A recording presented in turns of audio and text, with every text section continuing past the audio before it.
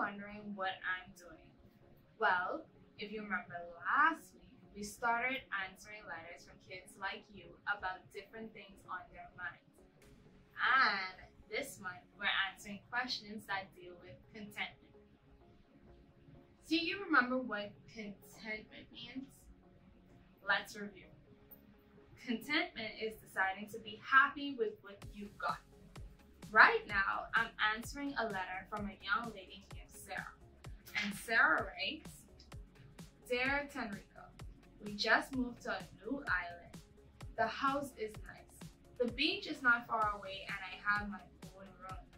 But all my friends live in New Providence and my soccer team is there too.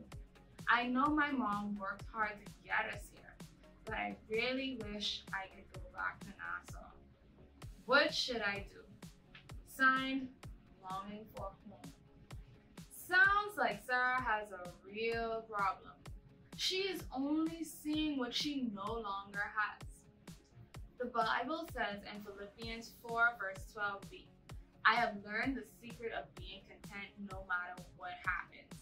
I am content whether I am well fed or hungry. I am content whether I have more than enough or not enough. Why don't we go into our lessons and see how we can help Sarah? As always, today's lessons are focused on our Kids Electric students in grades 1 through 6 and our Harvest Adventurers in preschool. Make sure you pay close attention to what's happening so you don't miss out on any of our amazing story or the super cool fun happening in Kids in Action. Why don't you check out Kids in Action and I'll see you when you get back. Welcome back to Kids in Action, where every experiment sparks excitement and every object lesson brings the Bible to life. It's time to unleash the power of faith in action with Kids in Action.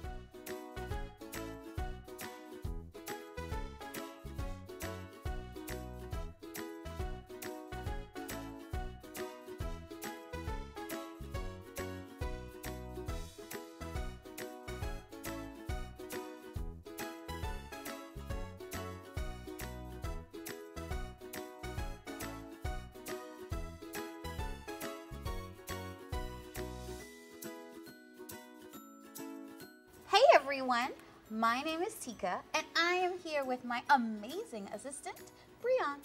All month long, we are talking about contentment.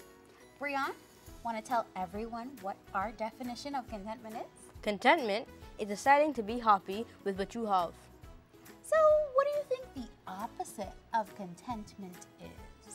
Mm, not being happy with what you have. That's a good answer. But the word I was looking for was complaining. Complaining. That sounds like something most kids are good at. Not only kids, Brian, many adults complain too. It comes naturally with our sinful nature. We tend to think about ourselves, what we want, what we can't get, and the things we long for in the past. We start grumbling and complaining, and that's not fun for anyone. But it is hard not to grumble or complain when I don't have some of the things that I used to have. I agree. But when we grumble and complain, you miss out on what you have now. That's what we'll find out about in our Bible story today when we talk about the Israelites. Those are a bunch of complainers. Let's demonstrate with today's object lesson called Complaining Balloons. Complaining balloons. Mhm. All we need are some balloons, a few hex nuts, and some nickels. So, Brian, tell me what's the difference between the edge of the nickel and the edge of that hex nut? But the nickel has a more smooth edge, while the hexes have a more sharpened, rough edge. That's right. Let's put this smooth edge nickel into the balloon and blow it up and see what happens. Hmm. Okay.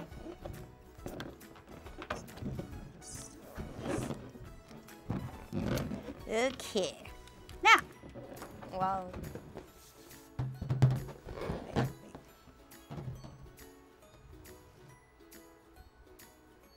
okay, I'm not hearing much complaining in there. That's right! No complaining going on in here. And if the Israelites didn't complain about what they used to have, but no longer had, they would have moved smoothly through life. They probably would not have spent 40 years wandering around in a desert either. Now, let's try the same thing with a hex nut. Ready? So we're gonna take hex nut and we're gonna fit it inside here. And now can you blow that up for me? Hmm. Well, it sounds like a whole lot of complaining to me. In fact, we can say it's a complaining nut, right? What do you think will happen if I just keep spinning this? I'm too afraid to find out. Why is it going so fast?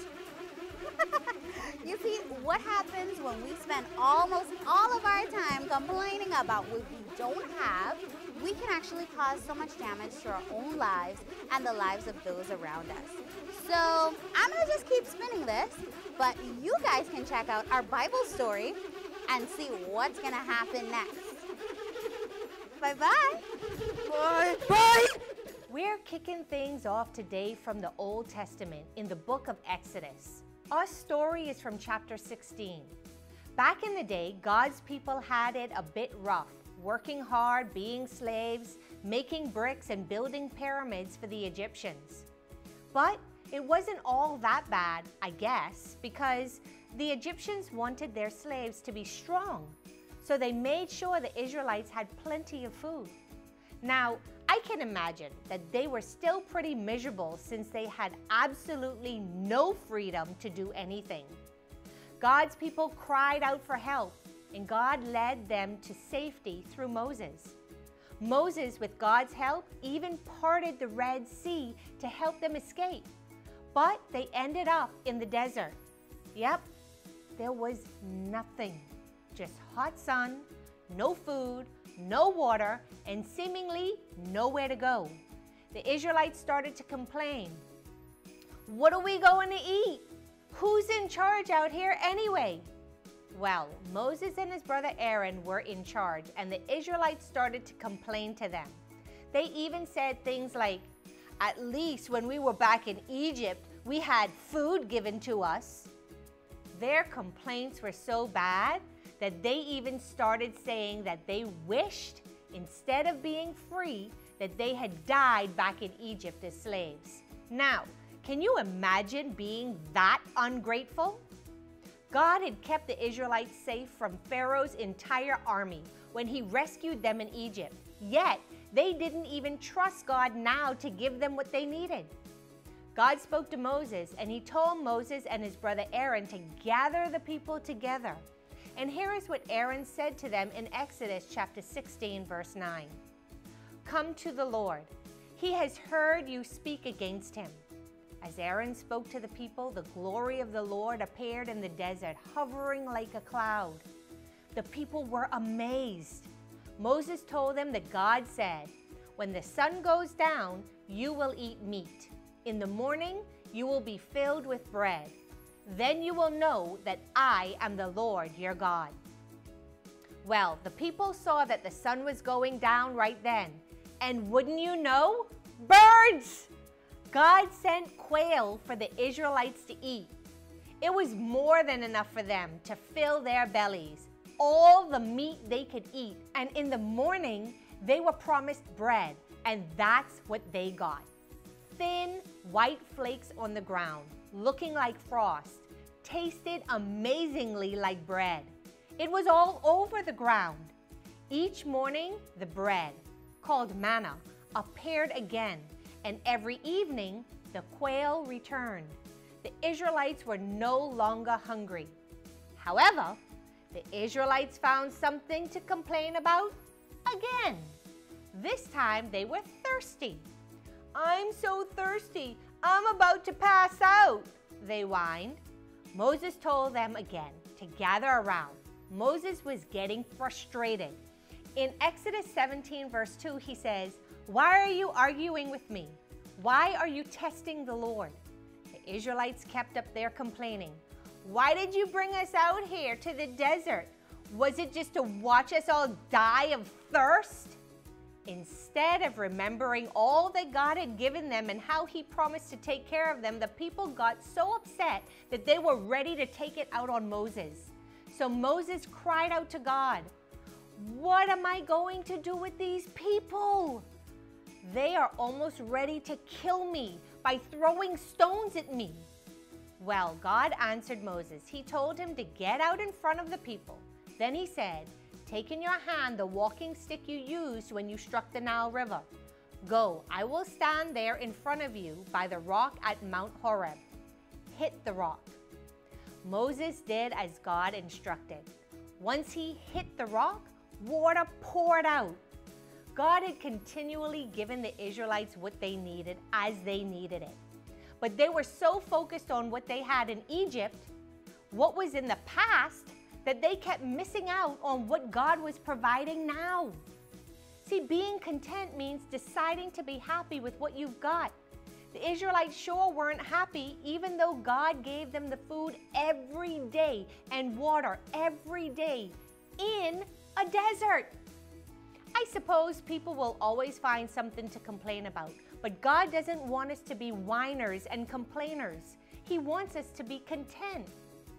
Speaking of that, let's look at the one thing that I want you to remember today. When you focus on what you used to have, you can miss out on what you have now. Think about all the amazing things that you have in this moment friends, family, a great church, a great school, even a wonderful person who loves to tell you stories on Sunday mornings. God provides for you every day. Let's pray. Lord, thank you for showing us how to be content here and now through the story of the Israelites in the desert. Please help us to find ways to see your provision, your help, your hand in all that we do and that we don't lose sight of what you're doing by focusing too much on what we used to have or how things used to be. Our lives are yours, here and now. Thank you for providing for us every day. We ask these things in Jesus' name. Amen. Good morning, boys and girls. Welcome to another exciting time where we learn about God's Word. This month, we are learning about contentment. What a big word! Can you say that word with me? On the count of three, let's say it together. Are you ready? One, two, three. Contentment. Great job. Now, contentment is deciding to be happy with what you've got. Our story today is about Moses and the Israelites. Are you ready to hear the story? Great! Our story today is found in the Bible, and everything we read in the Bible is true. The Israelites traveled for many days and they were tired and hungry. They complained to Moses, There's nothing to eat in the desert. At least we had food in Egypt. Now we're starving. God heard them, and that evening, God sent birds called quail for the Israelites to eat. The next morning, God sent bread from heaven. It was called manna and it tasted like honey. The Israelites found manna on the ground, but they complained again. Now they said, We're thirsty. Moses asked God what to do. God told Moses to hit the rock with his staff. When Moses hit it, cool, fresh water gushed for everyone to drink while they were in the desert. Israelites would not go hungry and thirsty again. When you focus on what you used to have, you can miss what you have now. That sounds like what the Israelites did in our story today. They were thinking about what they had in Egypt and almost missed all the blessings that God was giving to them. Let's remember our word of the month contentment, deciding to be happy with what you've got. Now it's time to pray. Let's close our eyes and talk to God together. Dear God, you are such an awesome God. You provide for us in every situation. Thank you for always providing for us. Help us to be happy with what we have and to be thankful for all that you do for us. We love you, God. In Jesus' name, amen. It's memory verse time. Yeah. I have learned the secret of being content no matter what. Philippians 4, verse 12.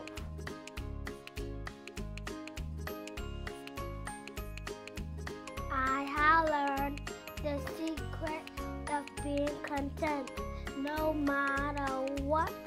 Philippians 4, verse 12.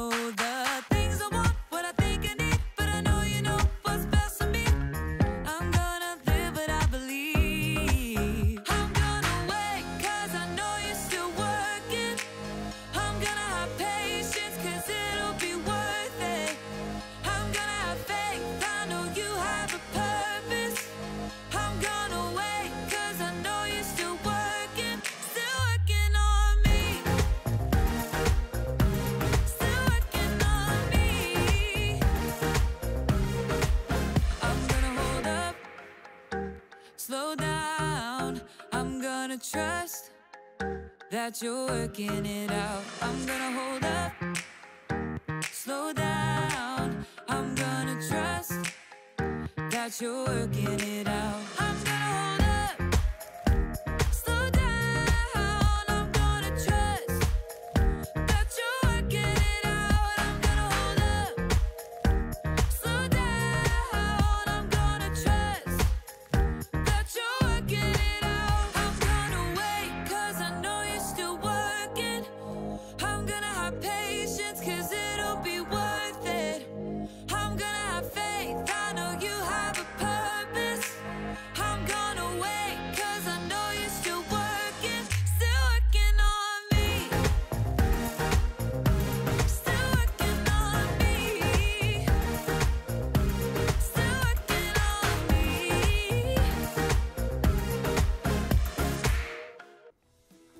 God provides for us every day. And if we dwell too much on what we used to have, we miss how God is working for us right now. You might say, I used to have great friends, but since I moved, I'm lonely. Or, I used to have a great bike, but now it's old and broken. Or, I used to have the newest phone, but now another new phone is out and I want that one instead, even though nothing is wrong with the one that you have now. You don't realize that though you might not have the same friends as you did in your old school, God is even now providing you with awesome new friends here, right now. And maybe you've outgrown your old bike, but I bet you've gotten some awesome things since then that are even more fun. And even though you may not have the newest phone on the market, the one you have is still a great one and serves its purpose. All of this reminds me of what Paul says in our memory verse for this month. Let's all read it together. I have learned the secret of being content no matter what happens. I am content whether I am well fed or hungry. I am content whether I have more than enough or not enough. Philippians 4, verse 12b. So, when you start complaining about all the things that you used to have, remember that God is faithful and He provides for you every single need that you have, He is meeting. You can't reach out and take hold of what God has for you now if you are holding tightly on what you used to have.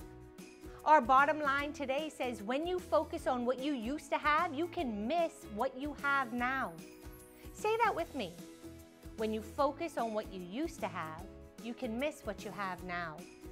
So as you go throughout this week, every time you start to complain about what you don't have, I want you to stand in front of the mirror and say, Thank you. to God for giving you breath in your body, food to eat, clothes to wear, shoes on your feet, and the fact that He woke you up in your right mind.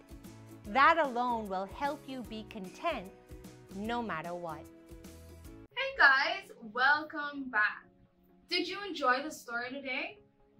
The Israelites were so focused on their life in Egypt, they forgot to be content with what God was providing for them in the desert.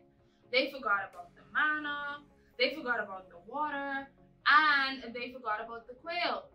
See, Sarah, just like the Israelites, when you focus on what you used to have, you miss what you have now.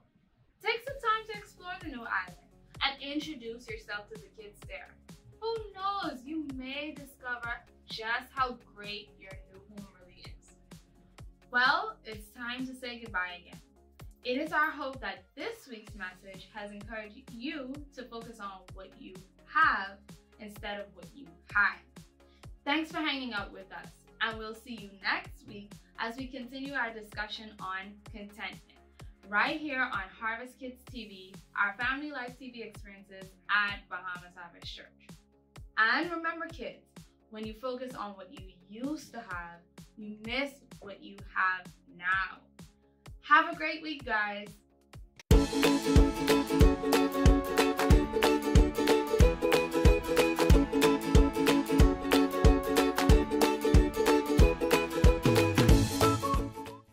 Parents, have you ever felt like it is just too much to deal with your children?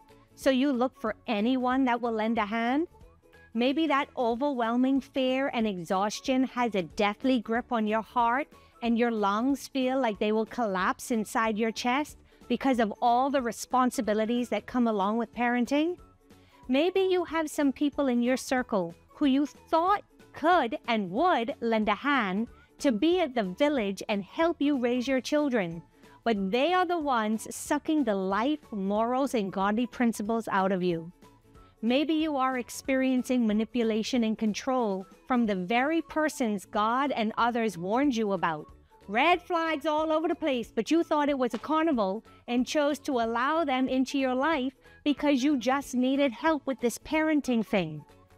Maybe you are at your wits' end and now see that the more you try to toss the murky water from those toxic relationships that is causing your boat to sink, the more they are poking holes in it. Listen to me. Don't lose hope. It's not too late to make a change. Through strategic prayer, God can weed out those in your life who need to go and bring into your life those persons that will bring healing, restoration, and joy. For God to do His part, though, you need to be willing to do your part.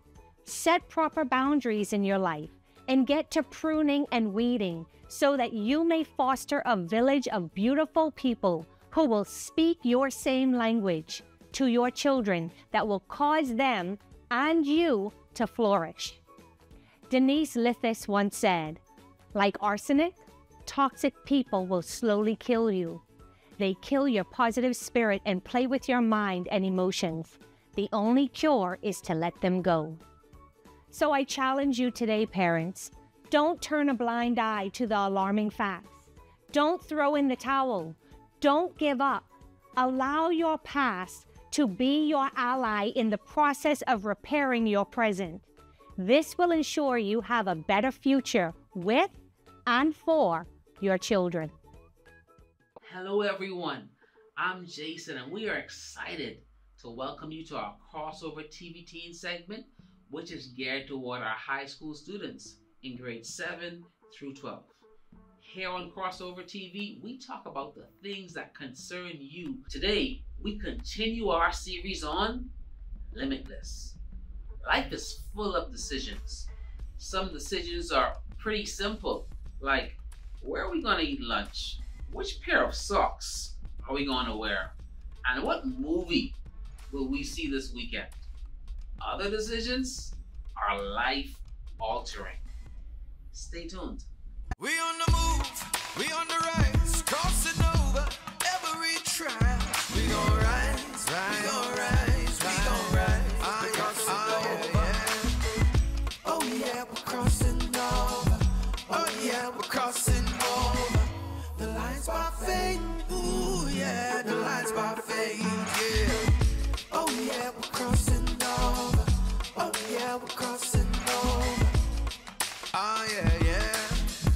me again, Jason.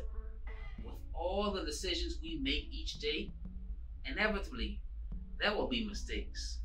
Whether through purposeful sin or unintentional error, we've all made decisions in which we choose differently. The bad decisions we make have consequences. As humans, we can't be perfect. But the good news is that we follow a perfect God. And when we keep our eyes on Him, that's when we win. Today's bottom line or takeaway from our discussion is don't bury what God can build on. Let's tune into our communicator as she explains how God doesn't define us by our behavior. Let's check it out. What's the first word that comes to mind when you hear the name LeBron James? What about when you hear the name Adele? Now, it's true that Adele and LeBron James probably wouldn't have much in common if they hung out on a Friday night. But they do share one similarity. They're both known for something. LeBron James, of course, is one of the most famous basketball players of all time. When people hear his name, they immediately think basketball. And everyone knows Adele is one of the greatest singers of our generation. We could throw some other names out there too. Steve Jobs, Selena Gomez, Peyton Manning. These people all have one thing in common. They're all known for what they've done. And while most famous people are known for great things, sometimes they're known for not so great things. You can probably think of a few celebrities just this week alone who've gone viral for something they've said or something they did. But this isn't just true for celebrities. In your family, your school, even in this church, there are people known for the things they've done. Like the teacher that's known for letting you out of class 10 minutes early every Friday, or the friend that's known for lending you her phone charger because you forgot yours again.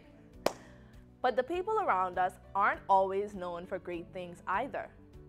Sometimes people are known for the ways they've messed up. Sometimes they're even defined by those things. You know what I'm talking about. It's the stuff most people think about when they think or see that guy at your school that's defined by the fight he got into with a classmate last year. Or the girl that's defined by what she did with her boyfriend at a huge party on the weekend or the sibling that's defined by what your parents found on their phone or in their room. Have you ever been there? Ever felt defined by something you've done? Like that thing is following you around and hanging over your head. And even if it's something that's never gotten out, the truth is we've all made choices that could define us. Maybe for you, it's a decision you made like gossiping about your best friend or shoplifting at the mall, or cheating on your final exam, or sleeping with your girlfriend. Or maybe it's a habit you still can't shake, like smoking, or, or vaping, or cursing, or pornography, or cutting. I mean, just the thought of someone finding out about something like this is enough to keep you up at night. That's why we work so hard to bury these things and make sure no one ever finds out because there's nothing worse than being defined by something you're not proud of. It's that crawl under a rock until you're 35 feeling. Thankfully, we're not the first people to feel defined or limited by what we've done. In fact, the story we're going to look at today sums up this feeling perfectly. Remember Moses from last week? The Hebrew kid who became an Egyptian prince? Yeah, that Moses. He was supposed to be killed as a baby, but the Pharaoh's daughter rescued him. Well, even with that kind of good fortune, Moses still had one of those crawl under a rock moments. One of those, if anyone finds out about this, I'll never live it down situations. Here's what happened in Exodus chapter 2, verses 11 and 12. Many years later, when Moses had grown up, he went out to visit his own people, the Hebrews and he saw how hard they were forced to work. During his visit, he saw an Egyptian beating one of his fellow Hebrews.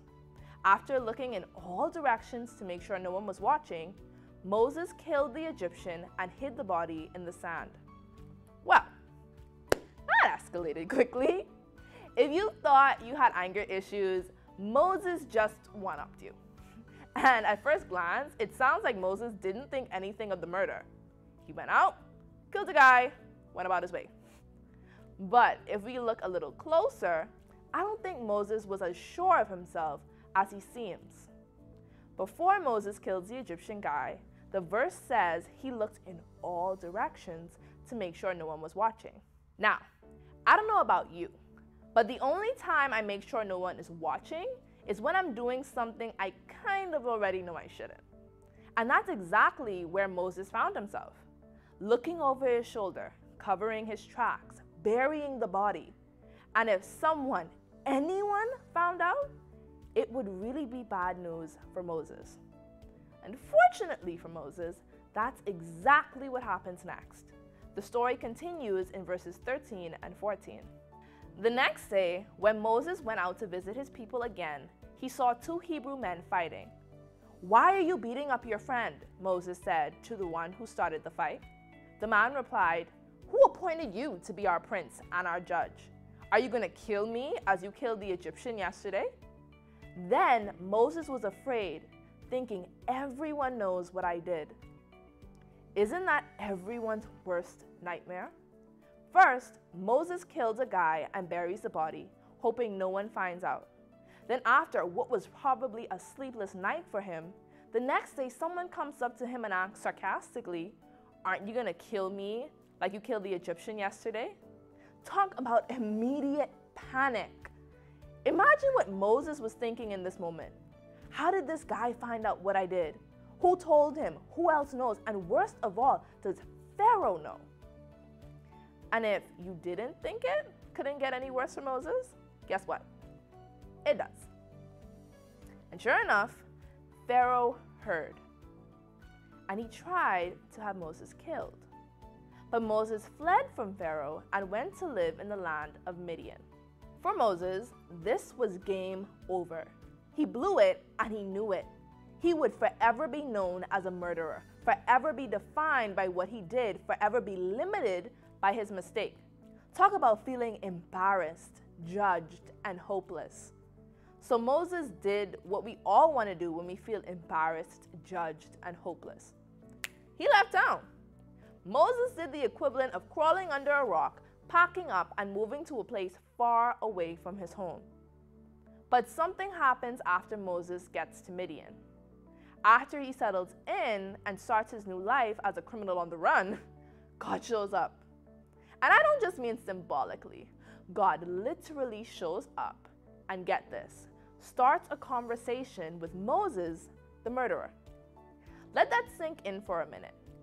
Try to imagine what God might say to a man who just killed someone, hid the body, and hit the road. You might think he'd say, I see everything, or you can't outrun me. But God doesn't. He doesn't say any of those things. Listen to what God says instead in Exodus chapter 3, verses 9 and 10. The cry of the people of Israel has reached me, and I have seen how harshly the Egyptians abuse them. Now go, for I am sending you to Pharaoh. You must lead my people, Israel, out of Egypt. Now, not what you'd expect, right? Definitely not what Moses would have expected. God is asking Moses to do something for him. Now, I don't know about you, but I've never asked a murderer to do me a favor. You know, call me crazy, but it's never seemed like a good idea. But apparently, it did to God. And the funny thing is, God doesn't even mention the murder. He just appears to Moses and basically says, Hey, I need to use you. Let's go. now, there's no doubt God knew what Moses did. I mean, everyone knew what Moses did. And there's no doubt how God felt about it. He's not a big fan of the murder your enemy approached to life. But it didn't keep him from using Moses to do something important. Think about this being a murderer defined Moses, at least for most people around him, but not for God. And this reality is true for you too. God doesn't see your sin or your mistakes as your definition either. Look, we've all made those I hope no one ever finds out decisions. We've all battled those I hope no one ever finds out habits. And while those decisions and habits may have consequences, here's what I want you to know God doesn't think of that when He thinks of you. When you make a mistake, He doesn't cross you off His list or decide He can't use you in His plan. You may feel like your mistake or habit is the end of your story, but He doesn't. To Him, your potential is still limitless. On his own, Moses felt exposed, defined, and limited by his sin. But when he ran to God, everything changed. Despite his sin, and before Moses even had a chance to redeem himself, God shows up and basically says, I can work with this. I can use this guy. So, what does that mean for us? Well, here's what I think we can take away from this don't bury what God can build on, don't hide cover up, or run away from what God can use. The reality is, there's no mistake and no sin that God can't build on. He can make you part of His plan no matter what you've done. And so, if God can build on anything, what's the point of continuing to hide our mistakes? What's the point of burying the decisions that nag at us?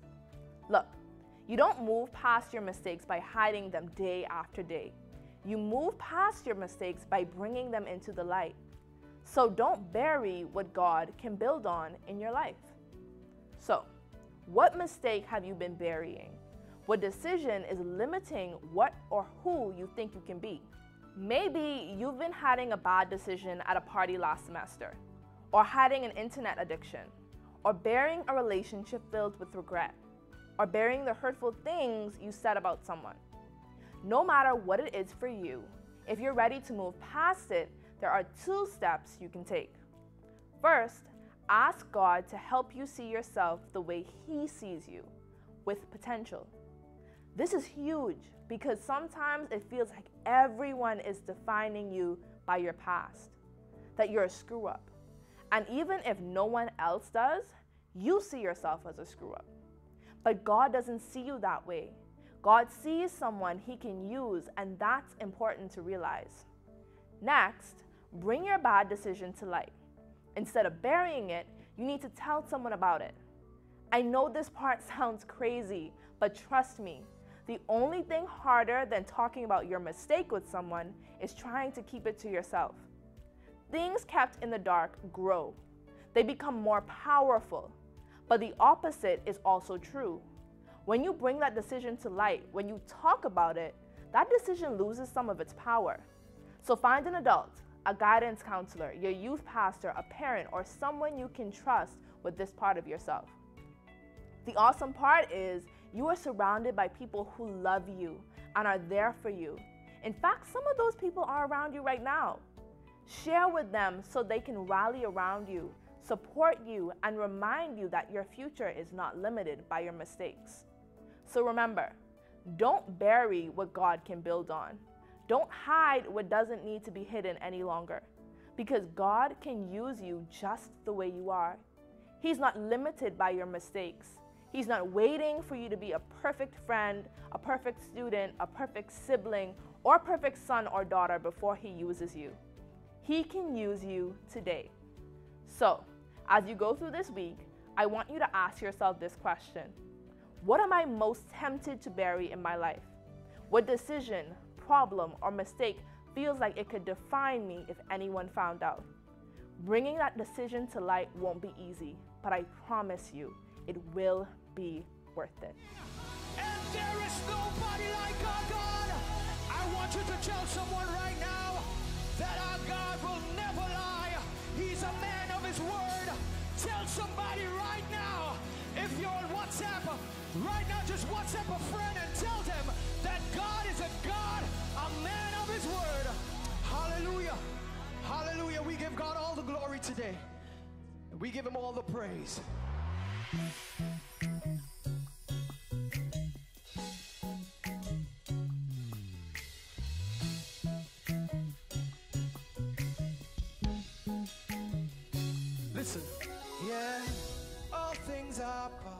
Possible when you believe. All chains are breakable when you receive Yahweh. You keep your promises. If you said it, we believe it. If you said it, we believe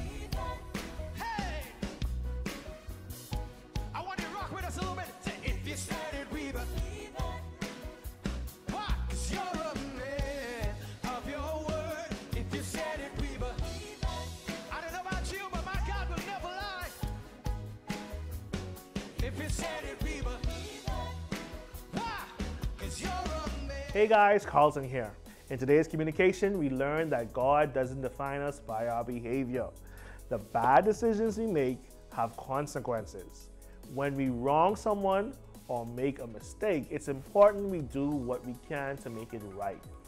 But in Philippians, we see an encouragement to not dwell in the past, but to keep moving forward. As humans, we can't be perfect. But the good news is that we follow a perfect God, and when we keep our eyes on Him, that's when we win. When we live in the past, it limits what God can do with our future. Bearing this in mind, I have a few questions for you. Question number one What are some lies that people believe about their future because of something they've done in the past? I know I believed that because of things I've done in the past that I could not be good enough to help others, but it's quite the opposite. The things I went through, whether I quit or failed, my experiences can be a blessing to others by helping others to overcome what they may be going through.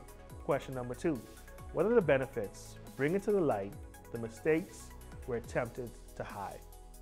By doing this, you can provide direction to others on the way out.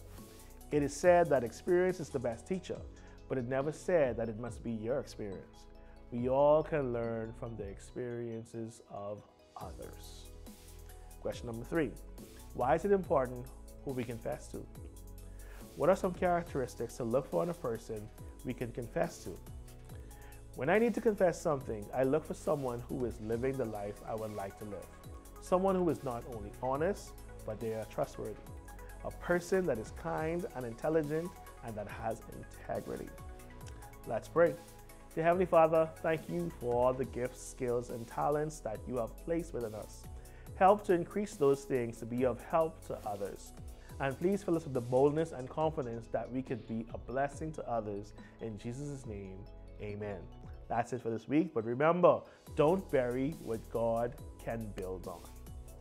Today, our communicator spoke about how we've all done things and made choices that define us in the eyes of others. And while it's nice to be defined by the good things we've done, we'd all probably agree that being known for a choice we're not proud of has a way of limiting us. We learned that Moses made a choice like that. Uh, choice so bad, he tried to run from it, hide from it, bury it away. But the good news is that while others tried to define Moses by his bad decision, God didn't. In fact, God still wanted to use Moses in a huge way. Knowing this truth, here are some helpful tips for you to consider. First tip call it by name. Write down the mistake you've made that you tried to hide and bury. Call those mistakes aloud and take ownership of them. Then surrender them to God by confessing them to Him. Then ask God, how? How can He help build on those mistakes to help others? And second, move forward. Don't get stuck in the past. When we live in the past, it limits what God can do with our future. Think about it. What's a what if you ask about your past that you can trust God with today? Well, it's time to say goodbye. It was a pleasure hanging out with you today. We hope this lesson has been helpful to you as you navigate life's challenges. Have a great week, everyone. And remember, don't bury what God can build on. It was our absolute pleasure hanging out with you today. Continue to keep safe, and we'll see you right here next week on Crossover TV. And don't forget today's bottom line. Don't bury what God can build on. Have an amazing week.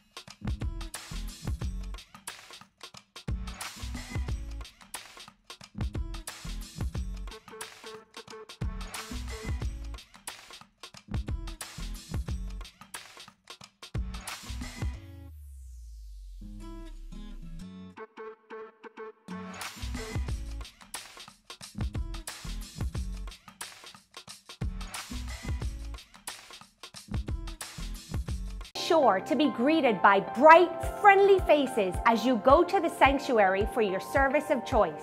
Children are escorted by their parents to our age appropriate environments, which include Harvest Adventurers, that's for our nursery, toddlers, and kindergarten, Kids Electric for our grades 1 through 6, and our crossover junior environment for teenagers grades 7 to 9 and crossover seniors, which is designed for our teenagers of grades 10 to 12.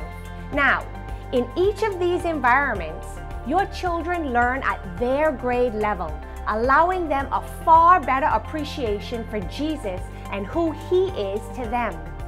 We guarantee that your child will not only enjoy themselves, but are sure to nag you for a replay the following week.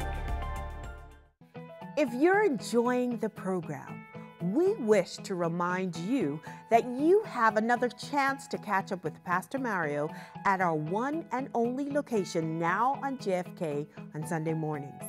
Find out what makes Bahamas Harvest Church so different. From the moment you walk through our doors, you will find smiling faces and an atmosphere that will draw you in.